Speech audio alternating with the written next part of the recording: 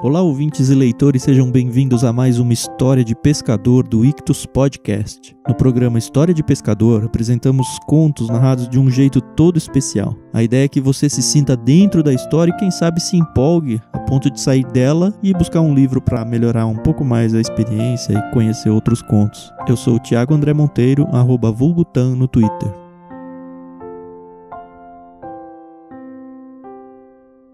Eu escrevi esse conto há muitos anos, quando eu ainda trabalhava no mercado financeiro. É claro que eu não vivi o que o nosso protagonista viveu na história, mas eu viajei algumas vezes a trabalho e sei que era bem comum uma situação desse tipo. Foi pensando nesses momentos então que eu criei tanto o personagem quanto o conto, o livro preto. Então, se você conseguir, Vai para um lugar silencioso, concentre-se na belíssima narração do Chico Gabriel e aproveite então a nossa história de pescador. Não esquece de contar pra gente o que você achou do conto, marcando a gente com a hashtag IctusPodcast na sua rede social favorita e, é claro, de passar esse áudio para algum amigo.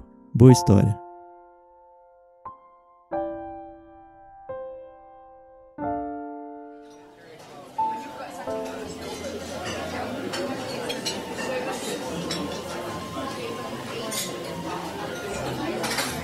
Ô garçom, dê a conta pra mim. Eu já vou subir pro meu apartamento. Tudo bem, senhor.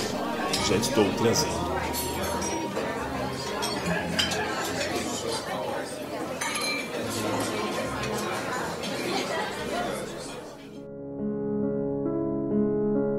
Viagem a trabalho. Caminhar sozinho, jantar sozinho, dormir sozinho.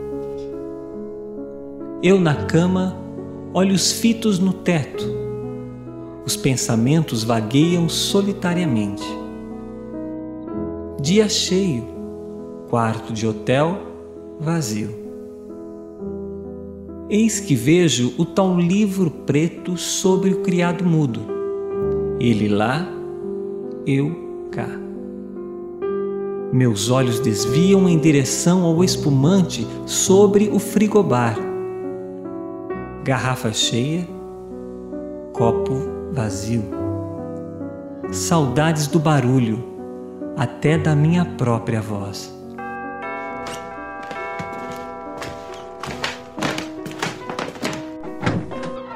Oi. Oi, entra, entra, entra, entra.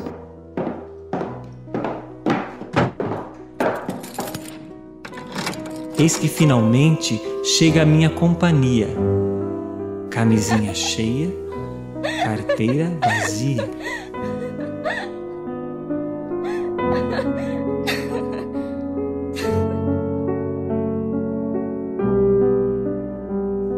Volto à solidão, só eu e os meus pensamentos.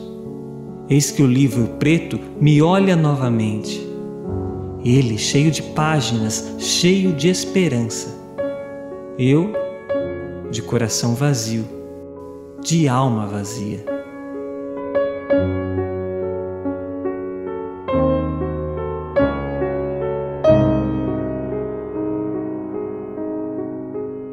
Mas não tem problema, já vai amanhecer, o dia será cheio e eu continuarei vazio.